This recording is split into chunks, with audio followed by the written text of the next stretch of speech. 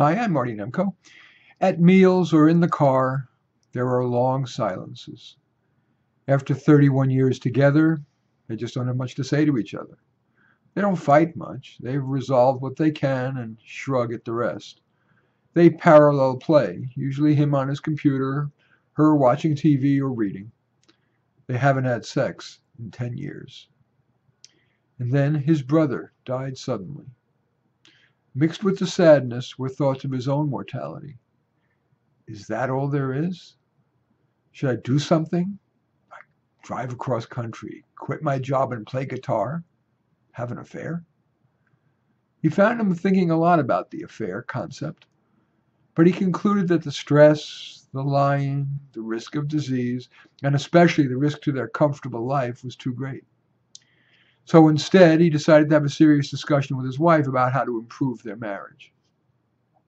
Decades ago, they had seen a marriage counselor, even a sex therapist, but they ended up agreeing it's more therapeutic for us to spend the money on retail therapy.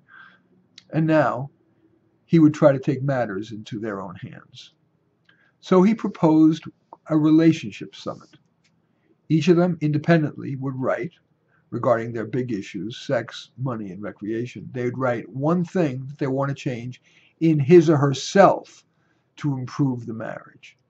Then they would show each other what they wrote and agree on what each of them would try to change.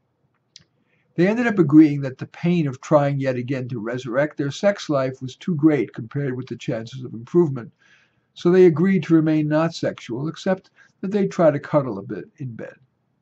About money, he agreed that they could now afford to be looser about money. His parents had always struggled financially, and he inherited the attitude that it's better to save than to spend. But now they had saved enough that they could enjoy some more wise spending, at least, after all those years of parsimony. He didn't care to spend any more, but she was happy that she could feel freer to buy her what she wanted, and even to do more travel other than a day trip. And about recreation, they agreed to do more of what they already enjoyed doing together, but somehow as the years went by, had done less of going to watch high school basketball games, inviting their best friends over for a weekly bridge game or book discussion, hiking along their favorite river, gardening together, taking long drives that end up at some enticing restaurant they've never been to. They also agreed that she should be freer to do activities she loves, but he doesn't. Like not just the travel, say, to exotic places with a girlfriend or by herself, but something like taking a dance class. They agreed to check in nightly to see if their plan needed tweaking or even reinventing. That story embeds at least four tips for refreshing a stale relationship. In the absence of a major triggering event, relationships can grow stale. Is it time to look at your relationship, even in the absence of such an event? A stale relationship can invoke thoughts of having an affair, and sometimes emotions just trump rationality. But usually the disadvantages outweigh the advantages. So, if you can pull on ropes of restraint, you'll probably end up happier. A potent self help tool is what I call a relationship summit, in which each person independently writes what he or she wants to improve in, by changing themselves.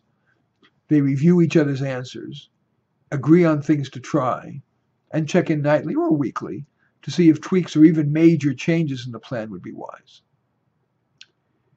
Changes in a relationship that are most likely to be sustainable don't require a personality transplant. An introvert is, isn't likely to become an extrovert. Someone who hates processing feelings is unlikely to consistently and actively participate in that. A sex life that's moribund for a decade is unlikely to be and stay much improved. A sober intellectual is unlikely to become a funster hipster. More likely sustainable are the changes that the couple proposed. For example, doing more of the things that they already enjoy doing together. So, might you want to try one or more of the tips I've just mentioned, or even convene a relationship summit? This is, by the way, part of a series in which I present tips in the context of a story. The others, which you can find on my channel, are on procrastination, time management, and finding Mr. or Ms. Right. The next installment, which should be uh, available oh, maybe late tomorrow night, is going to be on money. In any, in any event, I thank you for watching. I welcome your thumbs up or necessary thumbs down. Your sharing on your social media. There's a button down there for that. Your subscribing, your comments. In any event, I do appreciate your watching. I am Marty Nemko.